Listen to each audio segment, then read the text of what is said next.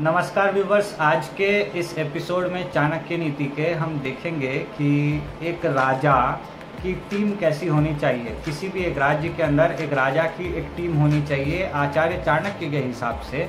तो वो टीम कैसी होनी चाहिए, उसके बारे में इस वीडियो में हम पूरी पूरी जानकारी लेंगे। तो आइए शुरू करते हैं सप्तांग थ्योरी के बारे में। एक बहुत ही इंपॉर्टेंट टॉपिक है और आप लोगों के बहुत काम आएगा। सो so, व्यूवर्स आज हम लोग सेवेंथ एपिसोड में सप्तांग थ्योरी के बारे में पढ़ेंगे। तो आज सप्तांग थ्योरी क्या है उसको एक बार समझने की कोशिश करते हैं। In ancient period in India the people have a traditional view that the state as an organic whole the political speculation before Kautilya had to reckon with this tradition तो यहाँ पे क्या पहले के ज़माने में ये सोचा जाता था इंडिया में कि जो उनका राज्य है, जो उनका एरिया है, जो उनकी शहर है, वही मातृभूमि ही सब कुछ है। लेकिन कौटिल्य के आने के बाद, उनके पॉलिटिकल नज़रिए के आने के बाद ये ट्रेडिशन थोड़ा थोड़ा चेंज होने लग गया। Kautilya refers to the seven element of the state which constitute the Saptanga theory these seven elements are the organs of the state तो पहले जैसे कि सोचा जाता था कि होल एंड सोल सारी स्टेट ही सब कुछ है, लेकिन कौटिल्य ने यहाँ पे क्या किया? स्टेट के मैनेजमेंट को तैयार करना शुरू कर दिया। ऐसे ही सब कुछ इधर उधर से चल जाएगा वाली थ्योरी काम नहीं आने वाली थी तो कौटिल्य ने जो है, चाणक्य ने जो है, वो सप्तांग थ्योरी के थ्रू सब कुछ जो है ठीक से मैनेज करने लग शुरू करने लग गए। तो यहाँ पे उन्होंने सात अलग अलग डिवाइड करके डिविजन्स तैयार करके उनको एज एन ऑर्गन जो है, एक स्टेट के ऑर्गन के तरह काम करने में लगा दिया। तो सप्तांग थ्योरी में कौन कौन से चीज़ें हैं, देखते हैं। पहला है स्वामी। मतलब द लॉर्ड जिसको कि जनरली हम लोग किंग कहते हैं। मतलब जो राजा है, उसको स्वामी कहा गया है, वो लॉर्ड के तरह काम करता है। जो कि राज करने का काम करता है। उसके बाद आते हैं अमात्य, जिसको कि मिनिस्टर कहा जाता है आज के दौर में। पहले बहुत सारे अमात्य जो है, वो बनाए जाते थे, जो कि स्वामी की या राजा की जो है मंत्री परिषद में काम करते थे। मतलब स्वामी जो है, इनको टाइम टू टाइम सैलरी देते थे और जो है, सारी चीज़ें यहाँ पे अमात्य उनके साथ में काम करते थे। अमात्य उनको सजेशन देते थे, तब जाके स्वामी जो है, कोई डिसीज़न लेते थे। उसके बाद जनपद की बात यहाँ पे है जनपद जिसको कि आज टेरिटरी कहा जाता है। मतलब मान के चलिए एक ज़िला, एक स्टेट के अंदर जैसे कई सारे ज़िले होते हैं, वैसे ही एक जो राज्य है उसके अंदर कई सारे जनपद यानी टेरिटरीज़ होते हैं। उत्तर प्रदेश में आज भी जनपद शब्द का इस्तेमाल किया जाता है। आप इसको नोट करके रखें। उसके बाद अगला जो अंग है, वो है दुर्ग, यानी फोर्ट। मतलब किले बंदी करना पड़ेगा। हर शहर का एक किला बंदी करना पड़ेगा। ताकि बाहरी ताकतें आके उस पर हमला ना करें और हमला करें तो भी उनको जो है नाको चने चबाने पड़ जाए।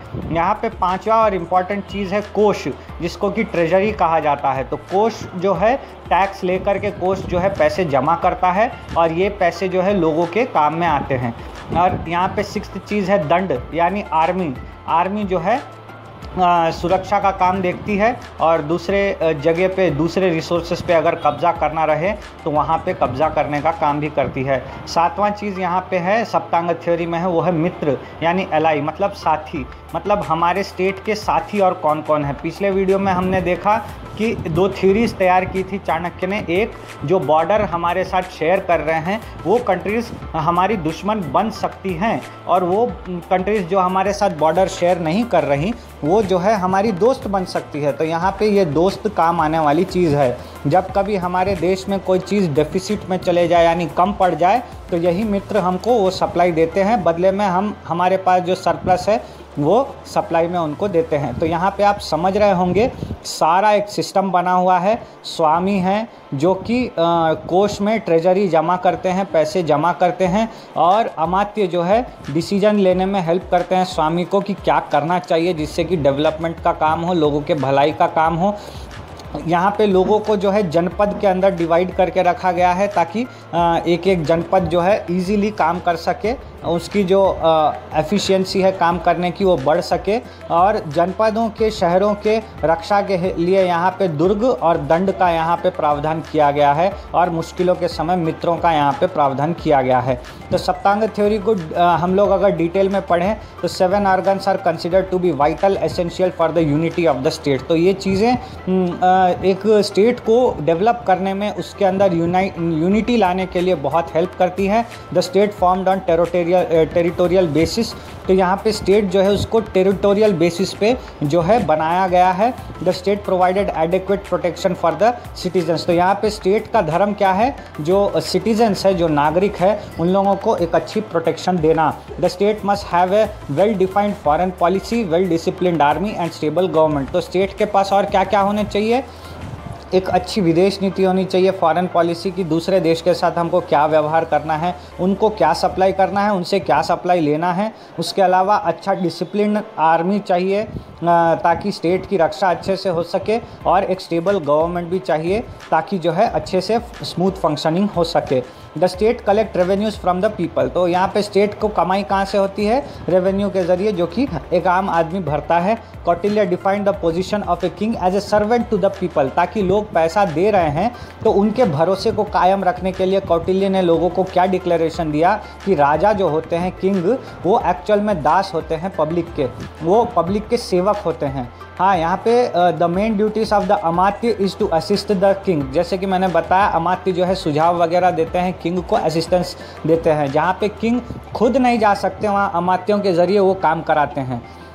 क्योंकि एक किंग को बहुत सारे काम करवाने पड़ते हैं तो उसके लिए वो अमात्यों का सहारा लेते हैं। Janapada is the area of the state तो जनपद जो है वो स्टेट के एरिया को डिफाइन करता है। ये जो है बहुत इंपॉर्टेंट चीज़ है। जैसे आ, कोई भी मतलब बॉर्डर का एरिया हो गया वहाँ पे कॉन्फ्लिक्ट्स ना हो इसीलिए जनपद का निर्माण करना बहुत ही ज़रूरी है। Kautilya in keeping the tradition of Hindu political thought upholds the Saptanga corner stone in the structure of the theory of the state तो यहाँ पे जो है कौटिल्य ने एक हिंदू पॉलिटिकल थॉट को जो है अपहोल्ड करके सप्तांग थ्योरी को जो है, तैयार किया है। तो आई होप आप लोग समझ गए होंगे कि सप्तांग थ्योरी क्या है? आ, किसी भी स्टेट के साथ बहुत इंपॉर्टेंट अंग कौन कौन से हैं?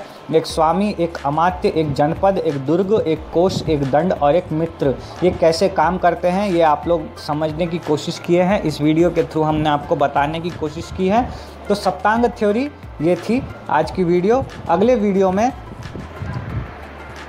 हम लोग देखेंगे अगले वीडियो में कि एक आर्मी और civil administration according to the Chanakya Niti according to the अर्थशास्त्र कैसे होता है।